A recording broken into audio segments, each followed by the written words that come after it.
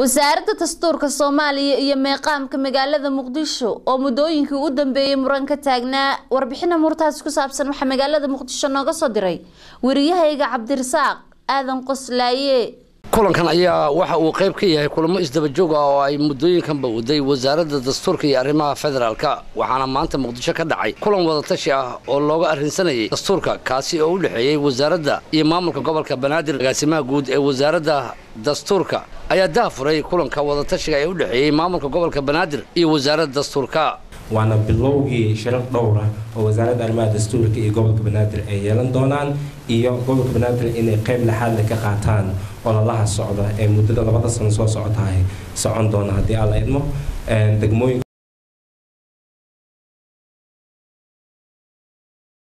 haddii alla idmo stariska magaalada muqdisho ama maxaa lahada caasimadana waxay noqon doontaa mid runtii aan ka wada qayb qaadano sumadda ama maqaamka ay yeelanaysa haddii alla idmo gudoomiyaha gobolka taabid cabdi maxamed oo kulankaasi qayb ka ahaa ayaa waxa uu sheegay in maqaamka muqdisho uu ku xiran yahay hannaanka dib u eegeysta dastuurka isagoo xusay in shacabka muqdisho ay ka war dhowrayaan labada gole ee baarlamanka aqalka sare iyo kan hoose waxa uu sheegay in aysan suuragal ahayn in dad ka badan ilaa iyo saddex milyan in aysan lahayn maqaam ayaga u gaaraa waxa uu ka dalbaday wasaaradda dastuurku in ay arrintaasi si gooniya ay isha ugu hayaan. Oo ay kow tahay mid hadda aan ka hadalna maqaamka magaalada muqdisho oo sida aan caddayna ay tahay inay dastuuri tahay baarlamaankana hortaal ururinta aragtidiisa oo ku salaysan dadka muqdisho wada degan iyo sidoo kale maadaama magaalada muqdisho ay tahay hooyadii dalka soomaaliyeed ayna ku timid dhisidda wadajirka ummadda soomaaliyeed in aan gaarno qof walba oo taladeeda iyo tusaalaheeda leh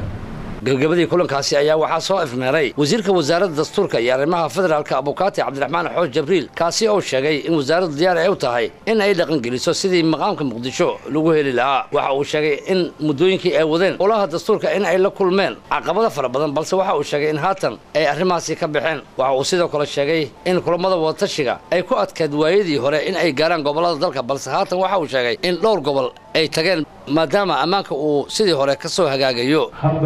Maadaama ay wada salaysan yihiin stadadii in hadda aan bilowno waa wada hadalka ku saabsanaa awood qaybsiga iyo khayraadka iyo oo ah inaan isku daynaa inay dhacdo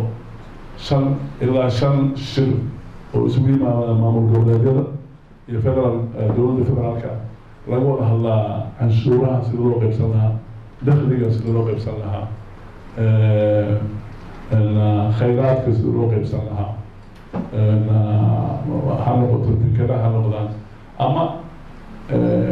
yaa qabanaya shaqooyinka qaarkood tacliinta oo kale meelooyin waddamada qaarkood sida kenya o kale hadda tacliinta iyo caafimaadka waxaa maamulayo gobolka laakiin waxaa dejinayo regulationki iyo shuruucdii iyo iyo mataqaanaa tayadii oo standardski sameynayo iskool haday noqoto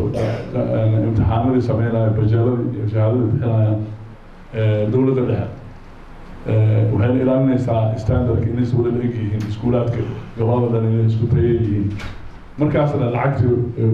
ay u shugaysaa gobolka cabdirasaaq aadan qoslaaye calson t v muqdisho